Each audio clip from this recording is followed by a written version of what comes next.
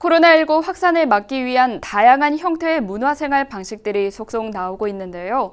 경기도와 경기문화재단이 장소에 구애받지 않고 비대면으로 미술품 경매에 참여할 수 있는 온라인 경매쇼를 선보였습니다. 보도에 구영세 기자입니다. 작품과 작가에 대한 이야기를 들려주는가 하면 낙찰봉을 힘차게 두드립니다. 실시간 댓글을 읽으며 시청자와 소통하는 독특한 경매 방식, 온라인 경매쇼입니다. 자, 그때는 바로 180만 원부터 들어가도록 하겠습니다. 자, 호가 10만 원입니다. 자, 180. 자, 댓글창에 글을 남겨주십시오. 자, 180만 원입니다. 코로나19 확산 방지를 위해 온라인상에서 비대면으로 2020 아트 경기 작가들의 작품 경매에 참여할 수 있는 실시간 경매 방송으로 지난 13일 첫 선을 보였습니다.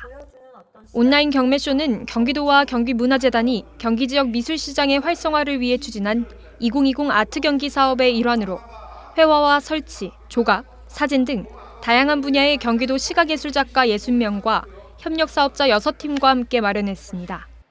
장소에 구애받지 않고 유튜브를 통해 누구나 경매에 참여할 수 있는 온라인 경매쇼는 미술품 소장 문화를 확산할 것으로 전망됩니다. 격주로 월요일 오후 9시에 진행되는 온라인 경매쇼는 올해 말까지 이어집니다. 코로나19로 인해 현장에서 전시를 가지기 어려운데 공간적 제한이 없는 온라인에서 작가를 소개하고 또 작품을 판매한다는 것은 또 다른 기회와 가능성을 보여준다고 보여집니다. 이 밖에도 2020 아트 경기에선 올해 말까지 온오프라인 동시개최 미술장터와 팝업 갤러리를 비롯한 8개 전시와 판매 사업들을 선보일 예정입니다. 경기GTV 구영슬입니다.